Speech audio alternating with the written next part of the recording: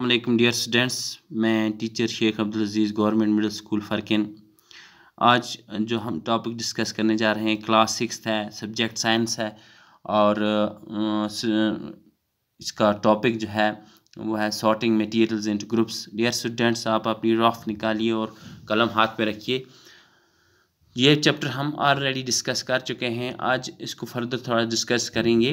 Sorting materials into groups का मतलब होता है कि किस तरह से मटेरियल्स को हम ग्रुपों में तकसीम करेंगे। ये हमने किए हैं। तो लेकिन आज हम थोड़ी सी आगे चल के हम ये देखने जा रहे हैं कि मटेरियल्स की प्रॉपर्टीज़ को डिस्कस करने जा रहे हैं। मटेरियल्स की प्रॉपर्टीज़ प्रॉपर्टीज़ ऑफ़ मटेरियल्स तो कुछ मटेरियल ऐसे होते हैं जो लिक्विड पा, पानी में या दूध में हल हो जाते हैं और कुछ मटेरियल्स ऐसे हैं जो हल नहीं होते वो आज हम पढ़ने जा रहे हैं।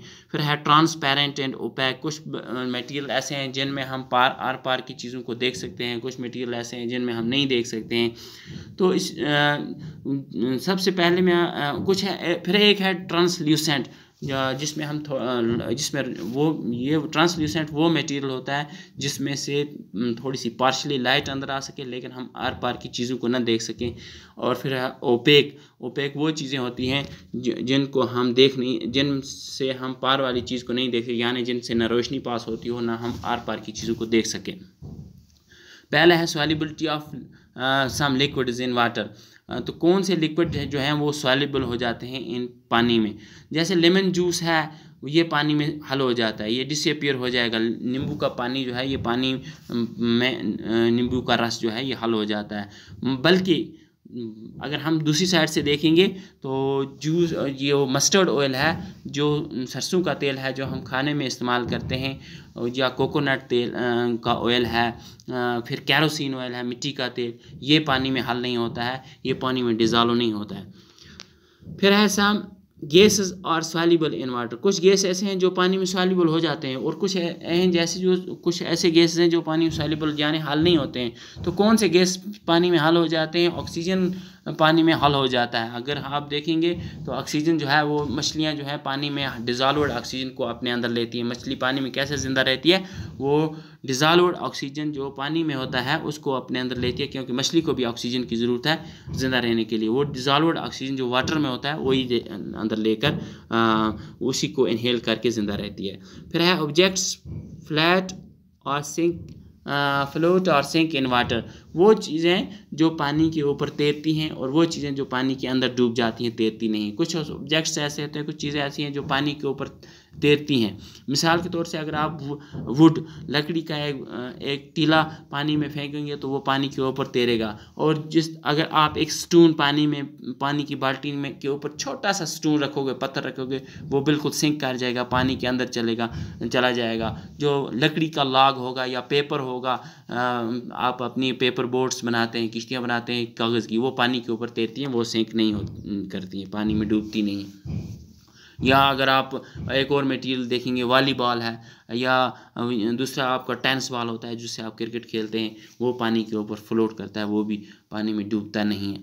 फिर एक और प्रॉपर्टी है ट्रांसपेरेंसी ट्रांसपेरेंसी यानी ट्रांसपेरेंट कुछ मटेरियल्स ऐसे हैं जो ट्रांसपेरेंट होते हैं, जिनमें लाइट पास हो जाती है और हम दूसरे सा दूसरे साइड की चीज़ को देख सकते हैं। जैसे हमारे विंडो पेन्स होते हैं, खिड़कियों में शीशे लगे होते हैं गिलास लगा होता है तो उससे हम बाहर देख सकते हैं। गिलास से, जो है वो ट्रांसपेरेंट है, उसमें बाहर की चीज़ें भी नज़र आती हैं और रोशनी भी पास हो जाती है।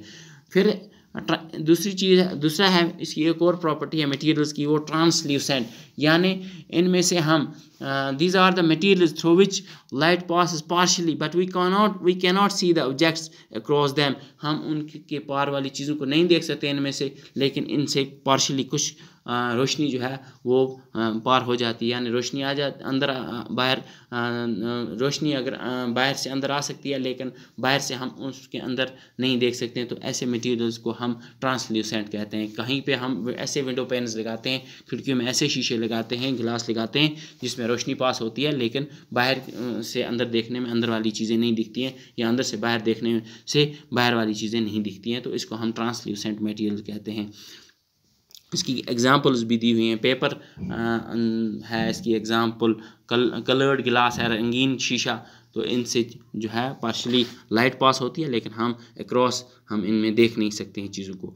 फिर फिर एक और प्रॉपर्टी है, जिसको जिसको कहते हैं ओपैक ओपैक वो प्रॉपर्टी है सब्सटेंसेस की, कि जिन, ऐसे सब्सटेंसेस जो बिल्कुल ही जिनमें से रोशनी पास नहीं होती है, जैसे हम खिड़की लगाते हैं लकड़ी की वुड की तो उसमें से कोई बिल्कुल लाइट पास नहीं होती। या कार्डवुड गत्ता वगैरह लगाते हैं तो उसमें से रोशनी भी पास नहीं होती है, या प्लास्टिक वगैरह की शीट जो है, उनमें से ये ओपैक मटेरियल्स हैं, इनमें से रोशनी पास नहीं होती है, ना हम इनको देख सकते हैं। स्टूडेंट्स हम आज इतना ही पढ़ेंगे। अब आप अपने बुक पे एक्सरसाइज निकालेंगे, वहाँ पे ट्रांसपेरेंट ओपैक के जो वहाँ पे एक्सरसाइज है, वहाँ पे आप कुछ क्वेश्चन खुद कर सकते हैं। नेक्स्ट जो होगा, वो आपको मैं बुक की एक्सरसाइज करा के आपके व्हाट्सअप नंबर्स पे डाल दूँगा। शुक्रिया।